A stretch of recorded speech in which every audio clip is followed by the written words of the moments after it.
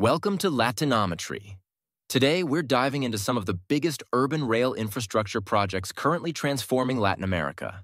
From massive metro systems easing urban congestion to monorail trains connecting neighborhoods, these projects are set to revolutionize how millions of people commute in various cities in the region. We'll explore exciting developments such as the long-awaited Bogota Metro, Santiago de Chile's Line 7, Lima's Line 2, Panama's Line 3, the Dominican Republic's expansion of the Santo Domingo Metro and construction of Santiago's first monorail line, and Sao Paulo's Line 6. Stick around as we take a closer look at how these ambitious projects are reshaping cities, boosting economies, and paving the way for the future of transportation in Latin America. Starting in Colombia, when I first learned that Medellin, its second largest city, has the only metro system in the country, I was quite surprised. I mean, how do you explain that?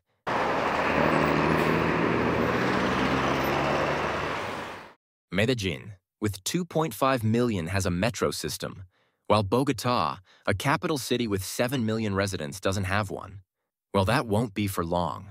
The Bogota Metro is currently Colombia's largest infrastructure project. The 24 kilometer or 15 miles elevated rail line, with an estimated cost of $4.3 billion, aims to reduce Bogota's severe traffic congestion and improve public transportation for its residents and visitors. The metro will run from the southwest of the city to the northeast, featuring 16 stations, with the capacity to carry up to 1 million passengers per day. The Bogota Metro is designed to run mostly elevated along key corridors of the city. The project will feature modern, fully automated trains, with a projected travel time of 27 minutes from one end of the line to the other, significantly reducing current travel times. Construction started in 2020, and besides easing traffic congestion, the metro is expected to stimulate economic growth in surrounding areas and create thousands of jobs during and after its completion. The project also plans for future extensions to other parts of the city. It hasn't been without its critics, though. Many have expressed dissatisfaction with the fact that the Bogota Metro should have had an extensive underground section. Others have criticized the slow progress of the works. The project is expected to be transformative for the city's mobility and is planned to begin operations by 2028. Moving south from Colombia, we find that Peru's capital is upping its game as well. The Lima Metro Line 2 is one of Peru's largest infrastructure projects. Stretching 35 kilometers, the fully underground line will connect the Ate district in the east to the city's port and Jorge Chavez International Airport in the west, drastically reducing travel times across the city. Currently, a trip that can take over two hours by car will be cut down to just 45 minutes once the metro is operational. The project includes the construction of 27 stations, which will serve key districts and benefit around 2.5 million people daily. The project, estimated at $5.8 billion, is part of a larger initiative to expand Lima's metro system, with future connections planned to other lines. Construction started in 2014 but the project has faced delays due to technical, financial, and legal challenges. Long delays are nothing new in Lima. Line 1, for example, took 25 years to be built. Despite this, the government aims to complete the line by 2028.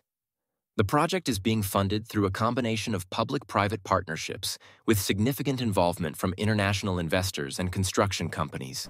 New York based IT executive Gustavo Boyd is waiting for his Voom helicopter lift from the business hub to the airport.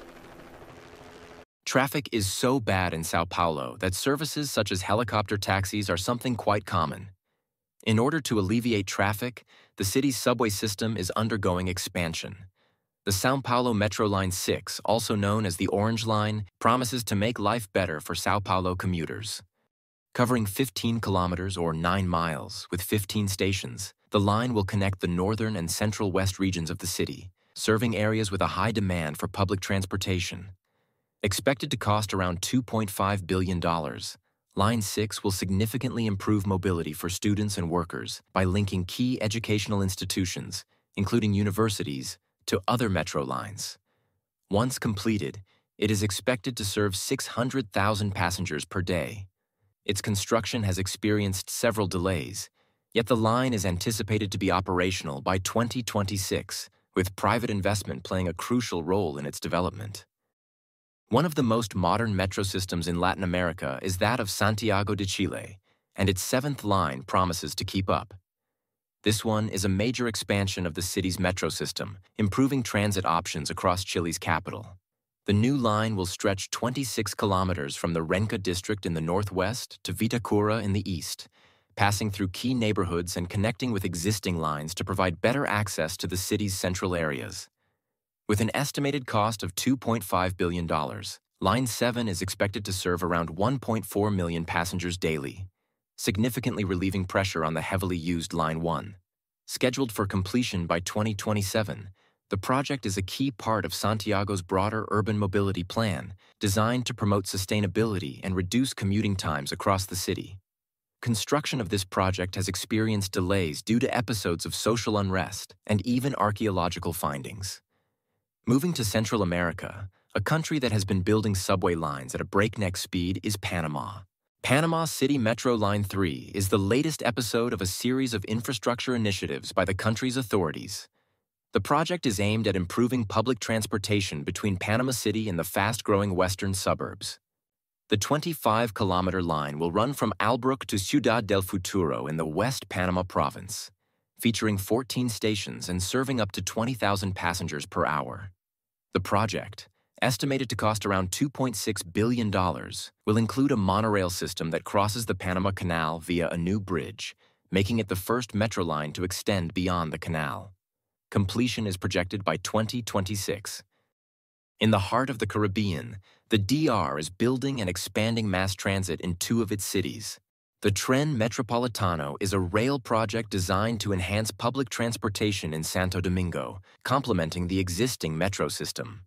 In its first phase, it will connect the city's busiest international airport with the downtown area, integrating it with Lines 1 and 2 of the Santo Domingo Metro and giving access to more than 500,000 new users to the mass transportation system.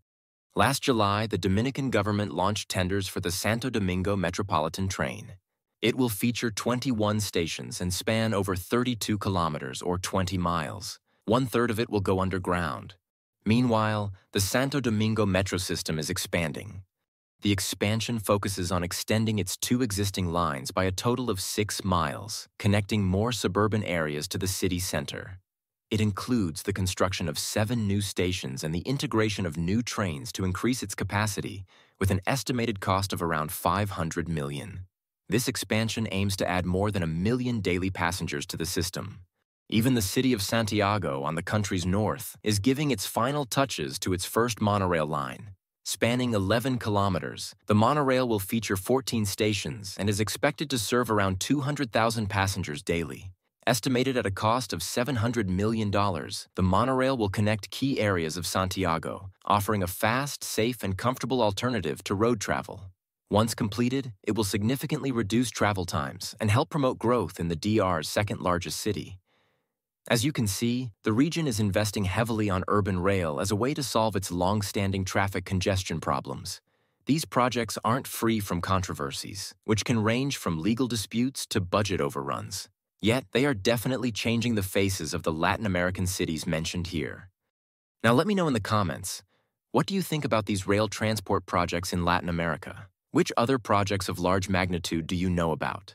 This is Latinometry, Subscribe to the channel so that you don't miss more interesting videos about Latin America and the world.